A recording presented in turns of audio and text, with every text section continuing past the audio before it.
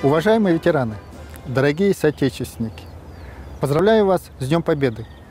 Уверен, что это один из самых значимых праздников для жителей нашей республики и всех россиян. Великая Отечественная война стала самым жестоким испытанием в истории страны. Победа далась колоссальной ценой. С глубокой благодарностью мы говорим о мужестве и отваге поколения победителей. В наших сердцах навсегда останется искренняя гордость за тех, кто героически защищал нашу Родину на фронте и ковал победу в тылу. Мы никогда не забудем трудовой подвиг строителей Сурского и Казанского оборонительных рубежей. Стойкость и самоотверженность поколения победителей и сегодня служит примером для нас и наших детей.